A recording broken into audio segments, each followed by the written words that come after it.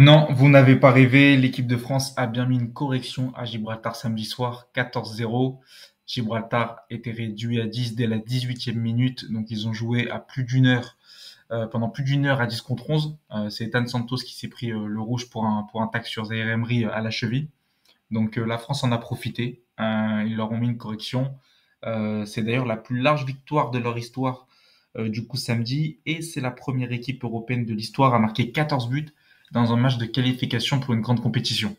Donc c'est une vraie performance. Ils ont mis 7-0 en première mi-temps, 7-0 en deuxième.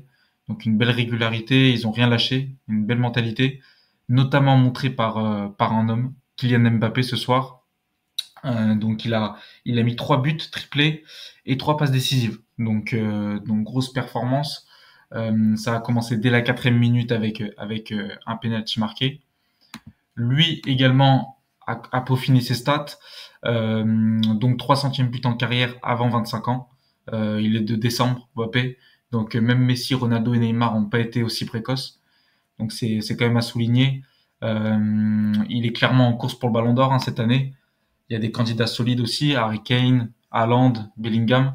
Donc ça va être ça va être une très belle saison encore une fois et il va devoir faire des performances comme celle-ci en club aussi. Sinon sinon ça va être compliqué parce que les Haaland, les les Kane eux avec le Bayern et City sont très très solides. Euh, revisionnage de son but, euh, le 12-0, donc euh, le lob que vous avez tous en tête.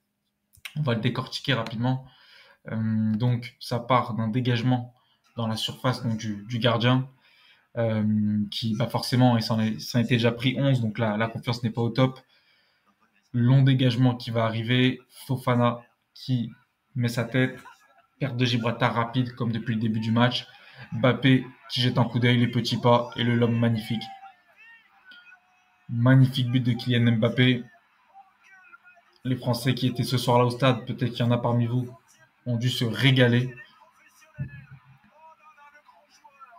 Mbappé.